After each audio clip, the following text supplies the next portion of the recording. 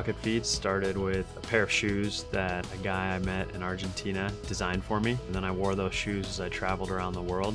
And I was inspired by all the people I met and the conversations I had because of something as simple as a pair of shoes. Sold the business to Threadless. We're proud to say that we're 100% online. We've grown significantly. We've built a community of over 40,000 artists from 120 countries around the world. Our shoes ship globally. We've acquired a lot of customers and we've also then given back a lot of money to these amazing artists that have joined our community.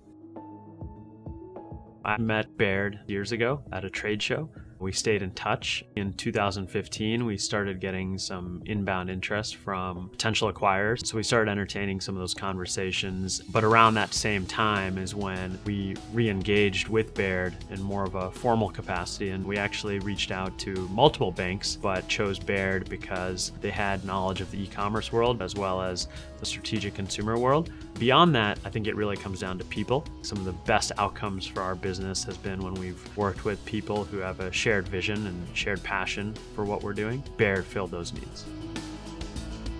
The majority of the work with Baird was in 2016, um, and then again in 2017. The retail markets were shifting drastically, but at the same time, our business was shifting drastically from a traditional retailer through wholesale to becoming an online retailer. That made things complex. What we loved about, about Baird during that process was it didn't seem like there was a one size fit all solution uh, to every company. They were really adapting themselves to us rather than the other way around, uh, which I think says a lot about a partner and, and allowed us to sort of maintain uh, a positive relationship and then a positive outcome throughout that process.